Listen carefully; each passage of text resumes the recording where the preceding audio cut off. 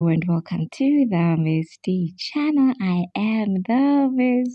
And guys, did you see what happened when Alicia Keys posted about making breakfast? the girl went on to say, but to make my vegan, gluten free, dairy free, sugar free pancakes, and them things are good. Don't hate.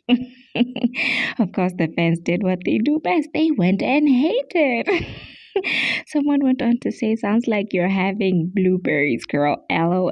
The other one went on to say, That's not a pancake, it's just pan. You went and took all of the cake right out of it.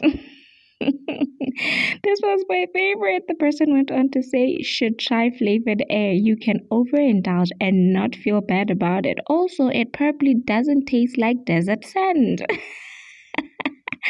These people are mean. Also, what kind of pancakes are this? They are everything free. The only thing they have is air. what are your thoughts? Don't forget to comment, like, and subscribe, and I'll see you later.